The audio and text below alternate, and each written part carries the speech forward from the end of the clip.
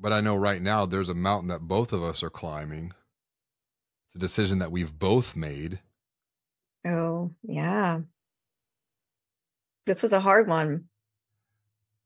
And yeah, um I mean for me it was December and, and that's the thing. I, re- I remember dates very very vividly. Yeah. December 13th, 2023. Went out with some friends. Um went to dinner, had a couple of old fashions. Love a good old fashioned. Love scotch, love whiskey. And then after that, we met up with some other friends at a local bar in, the neighborhood. Had three more old fashions. That was on Saturday night. Woke up the next day, Sunday. Oof, man. Felt, felt horrible. Woke up the next day, Monday. Oof. I'm still feeling bad. Woke up on Tuesday. I'm still like, I can't. And the question that I vividly remember asking myself, laying in bed, waking up, feeling that way, is your future self, is my future self going to thank me for doing what I'm doing? Or would my future self thank me for saying, you know what? I need to re examine my relationship with alcohol. And Yeah. I did not realize how long I had not gone with not having a drink. Like it had become part of who I was. Probably all the way back to when I was like 17 years old. So 17 to 42, what is that, 25 years? Yep. And so I made a conscious choice and decision to say, I'm not going to drink for a week. And then a week became a month, a month became 90 days, 90 days became half a year. Then I had like a glass of wine, a little bit of whiskey, and I was like, you know what? I was feeling far better without. And you and I had the con we were you and I were in constant dialogue about this. Oh, yeah. And I know you had dabbled with it yourself, Yeah. sobriety.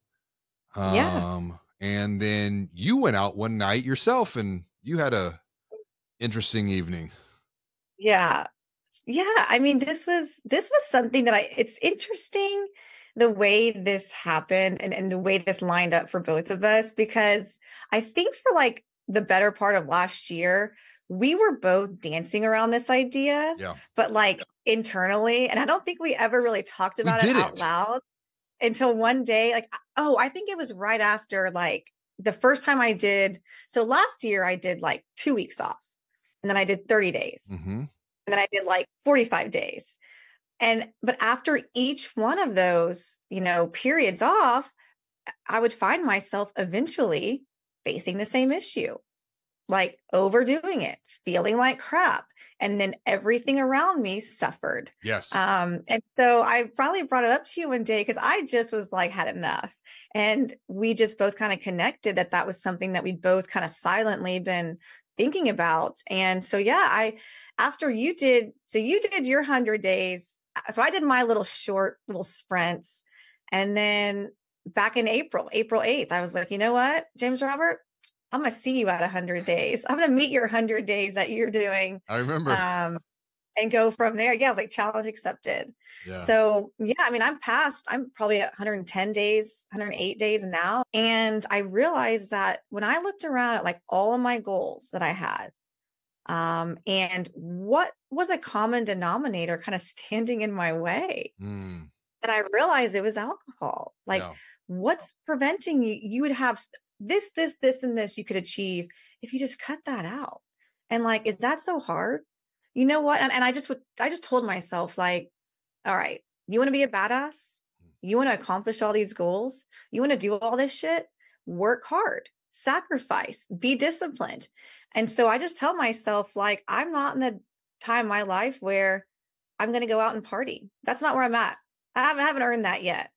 I'm trying to work now. And so that was a tough, that was a tough thing to cut because I'm a very social person. So I have more opportunities to go to dinner or to go hang out with friends. And it was like more often than not, there was alcohol involved. Um, Yeah. and so I was like, you know what? You're just going to have to get real. This is a challenge. and I Uh, that was tough. And I think though it it'll be interesting how that continues to unfold because from my experience now pushing almost seven eight months. A i don't miss it. B it's people ask me all the time is it hard? Is it difficult? No It's actually not. it's not and i have my mental clarity is at the highest it's ever been. Um there's a spiritual component to this as well i believe.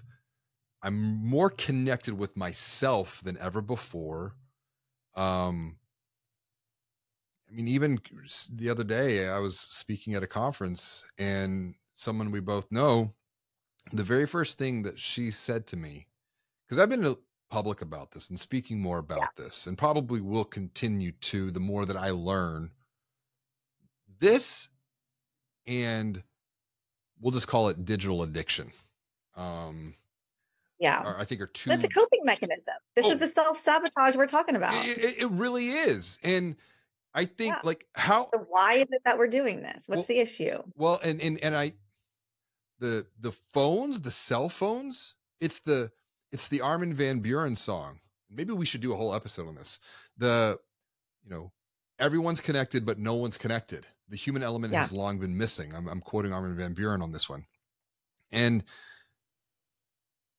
i know for me it's like i would go to my phone because i was lonely Yep. didn't want to you know didn't want to be by myself. Be with myself yourself. be with myself exactly Yeah. That was alcohol for me. and what are we and what are we afraid made me of more comfortable in my skin. Yeah. yeah what are we afraid of and when we start to do some of this I'm not going to say hard work, this deeper work, we really, I think, unlock new levels of growth that will bear fruit both personally and professionally.